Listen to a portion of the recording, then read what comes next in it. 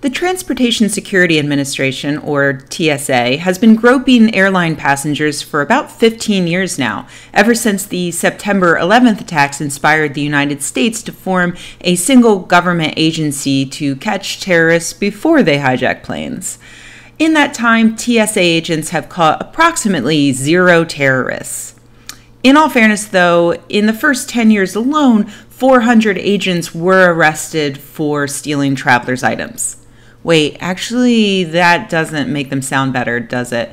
Let me try this again. In all fairness, since 2004, at least 16 accused terrorists have flown 23 times through U.S. airports without being stopped by the TSA once. Wait, that doesn't that doesn't sound too great either. Let me try one more time. In all fairness, the TSA has spent $1.7 billion in taxpayer money on a surveillance program with zero scientific research to back up its supposed effectiveness. Oh man, I'm just making it sound worse now, aren't I? In 2007, the TSA introduced SPOT, or Screening Passengers in Obs- by Observation Techniques.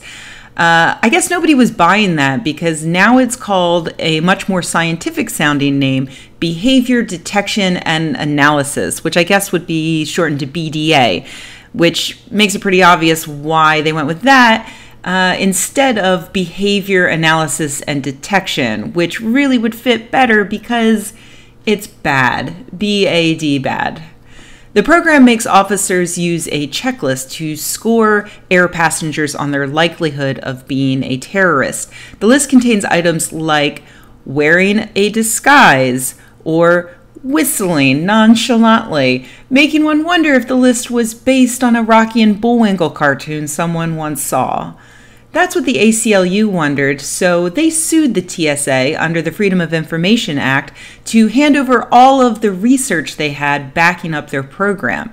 And what they recently got back was over 13,000 pages of documents, amongst which were scientific and academic literature. The problem? Much of that literature actually directly contradicted the TSA's program, like one study that concluded despite decades of research to maximize the accuracy of deception judgments, high stakes lies, judgments of unsanctioned lies, judgments made by long term acquaintances, all revealed detection rates within a few points of 50%, or the rough equivalent of flipping a coin. The ACLU reported that numerous studies the TSA turned over found that people trained to detect lies actually are worse at detecting lies than untrained people. Not only was there no convincing scientific evidence to be found in the TSA's files, but the ACLU found that the TSA has actually been lying to Congress, claiming the opposite in order to continue getting funding. The entire ACLU report is astonishing, and I encourage you to read the entire thing. Uh, I'll just point out one other tidbit.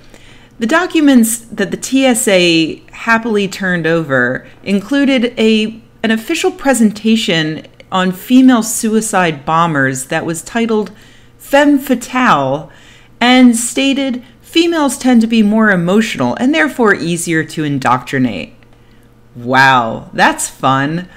Obviously, I mean, the sexism is minor compared to all of the racist stuff that was in there, uh, making it easier for TSA agents to target Muslims. So you can check all of that out. But I just thought that was a really fun little fact.